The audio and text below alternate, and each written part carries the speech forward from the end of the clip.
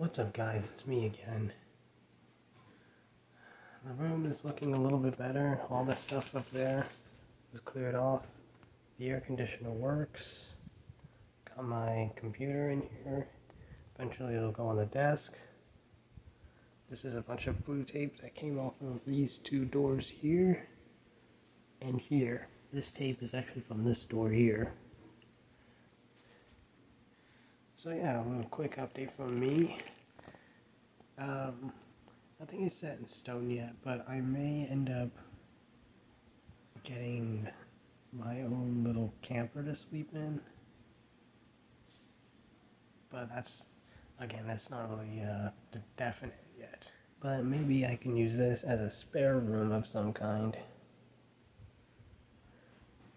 So yeah, that's about it this time a minute of new vlog from me.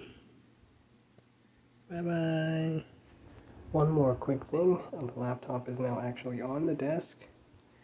Redragon LED mouse. MSI GS76 Stealth.